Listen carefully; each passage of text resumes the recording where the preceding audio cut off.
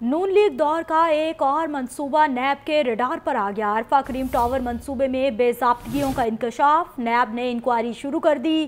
Punjab board of information technology board کے chairman کو record سمیت طلب کر لیا۔ راہیل سید سے مزید اپڈیٹ دیں گے۔ راہیل بتائیے گا، تمام ریکارڈ بھی طلب کیا گیا ہے؟ پروجیکٹ ہے، اس پہ نیب نے تحقیقات کا آغاز کر دیا ہے۔ عرفہ کریم ٹاور پروجیکٹ میں جو ہے، اس کے حوالے سے نیب کو درخواست موصول ہوئی تھی، جس پر ابتدائی طور پر تحقیقات کرنے کا فیصلہ کیا گیا اور Punjab board of information technology کے جو چیئرمین ہیں، ان سے تمام جو پروجیکٹ کا ریکارڈ ہے، وہ بھی طلب کر لیا گیا ہے۔ ظاہر کا کہنا یہ کہ آئی ٹی ٹاور کی تعمیر اور اس میں چلنے والے تمام پروجیکٹس کا ریکارڈ طلب کیا گیا اور جب یہ تمام تفصیلات اپنے نیب کی تحقیقاتی ٹیم کے سامنے پیش ہوں گی، تو اس کا جائزہ لینے کے بعد فیصلہ کیا جائے گا کہ اس کی تحقیقات کو آگے بڑھانا ہے یا اگر نہ کافی شواہد ہوئے تو پھر یہ تحقیقات بند کر دی جائیں گی۔ تاہم، ظاہر کا کہنا یہ کہ ابتدائی طور پہ تحقیقات کا آغاز نیب نے کر دیا ہے۔ جی۔ گزشتہ حکومت کا ایک اور منصوبہ نیب کے ریڈار پر آ گیا۔ شکریہ، راہل سید، آپ نے تفصیلاً آگاہ کیا۔